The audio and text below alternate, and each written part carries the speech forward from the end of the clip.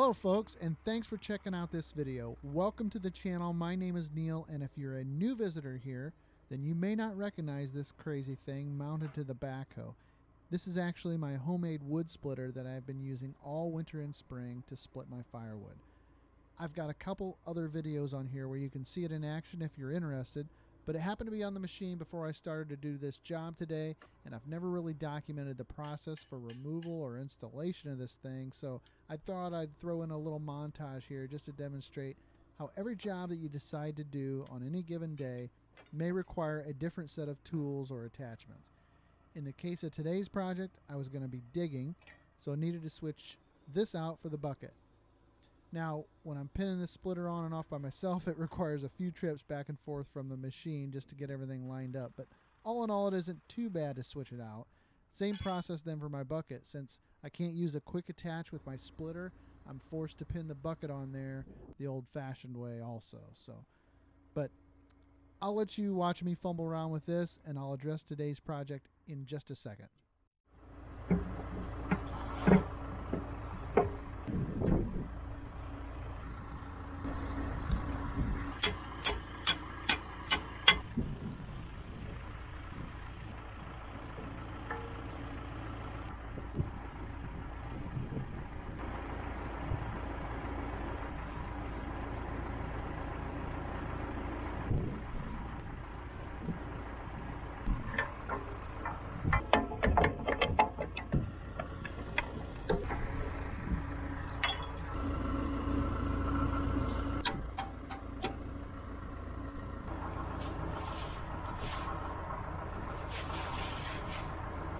Today I'm going to try to fix a broken down field drainage tile. The farmer called me and said he's got a hole in his field. We know that usually a big hole like that that's moved a lot of dirt is the sign of a broken down tile underneath. So, and you never know what you're going to get into. It could be an, a clay field tile that's 80 years old, or it could be a more modern 20 year old plastic tile that's broken down and compromised. But I've put on the two foot bucket on my backhoe. It's got a smooth cutting edge that allows you to dig down and not really damage the tile if you get really close to it. The smooth cutting edge bucket is great for finding something that you don't want to damage as you're looking for it. I've got some common materials thrown in the bucket that we found usually are helpful when you're trying to fix something like this, but we could be totally wrong too and be something completely different. So fortunately this job is close enough to home and I'm just going to drive the backhoe over there and see if we can get it banged out this afternoon real quick. Thanks for checking it out. Find it? It's not much of a hole. This little hole is what we're going to try to fix. Clay tile. Oh, there's another little hole. So these are little suck holes that start when there's a problem with the tile. So these two are probably in line with each other. Should we just dig like that? Well, let's go get the backhoe.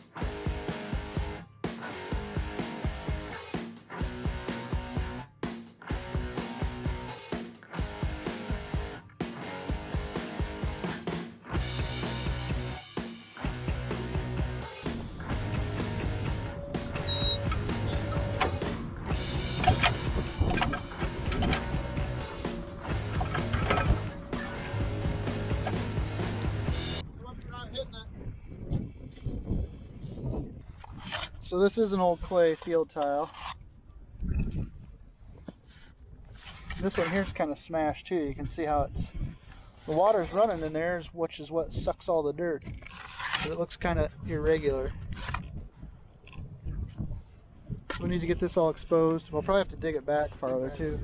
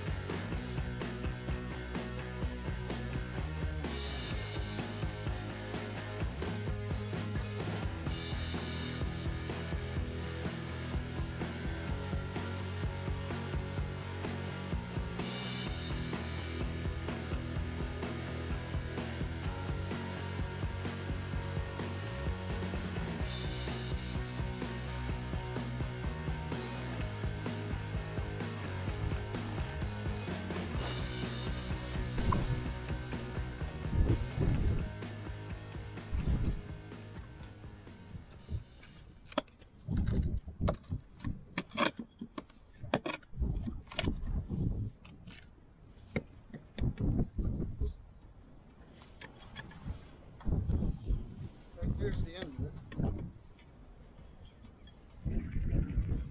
Don't feel solid though, does it? Well, right here it does. I can hear it. And then it's gravelly. Right here it is. It's going this way. Which way? It's going like this. There's a joint right there. Okay. See it?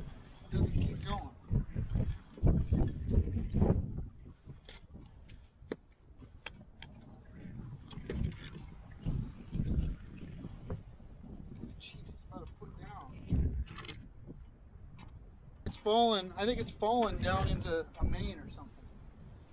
That's why it's so high. It drops off so fast. I think it's. I think it's going down and connecting right here, and I think it was broken on its way down. I'm not so sure that this is bad. Right here's the hole, see? Yeah. That's the original hole.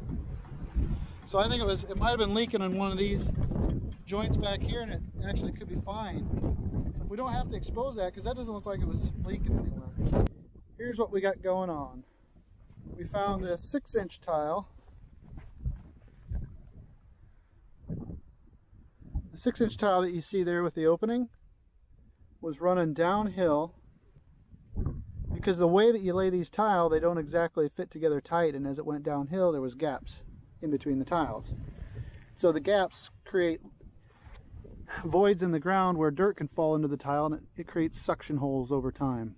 And then in the course of trying to find that tile what was going on I overdug it and hit this little four inch tile running perpendicular to that tile. So now we got to fix this one. Said this four inch has already been fixed but I took the pieces out we're going to patch it in.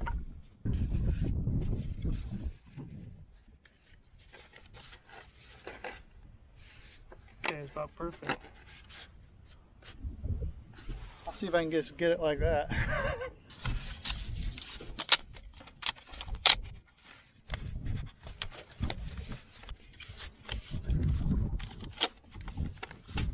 oh. Oh. Nice fit. You want to seal up this joint as much as you can so it doesn't suck water.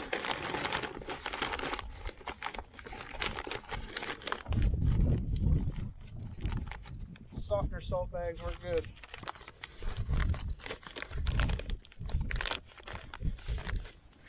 That'll keep dirt from trickling down into the joints and creating another hole.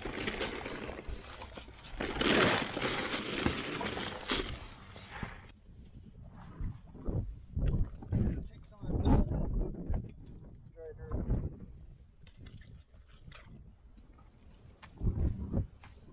It looks too small. It is. See if that external coupler I've got. I've got an external six. See if it'll fit around that clay tile. Yeah. I think we want to do that. Okay. Will you? Yeah, that's fine.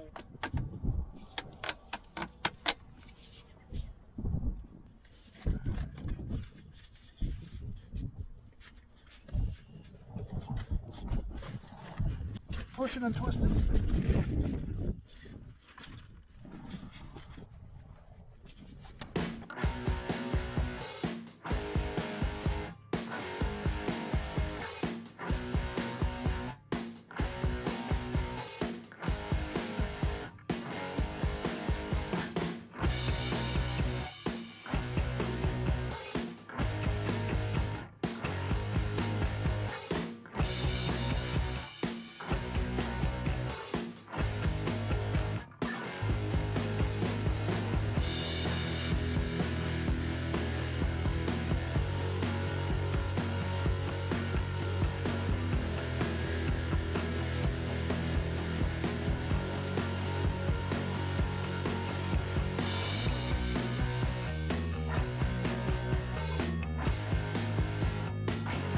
This is the original joint, and it's got a few weak spots in the uh, in the joint, but we think it's concreted in there. I can see concrete around there.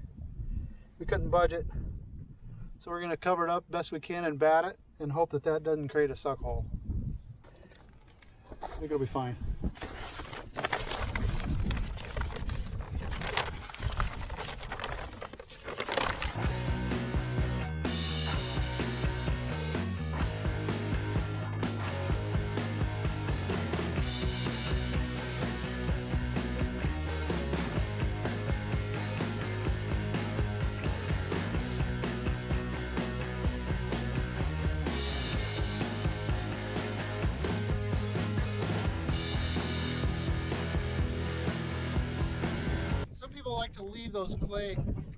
Tile and they bury them back into the trench after they're done. I hate that because the wind was just too bad. What I'm saying is I don't like putting the clay pieces back into the trench because if you ever try to dig this spot up again, you're going to be finding those little pieces with the probe. It'll be really confusing on what you're trying to dig up. And that's what we run into all the time when you put tile pieces back into the trench. So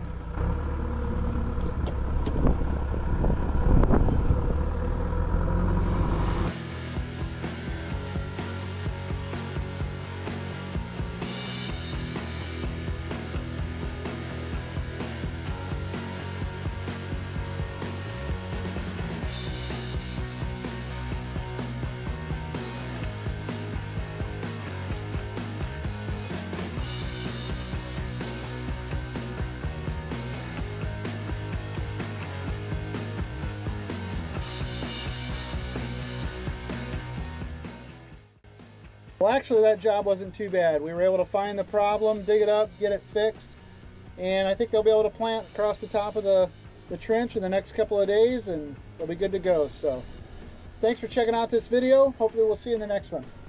Take care.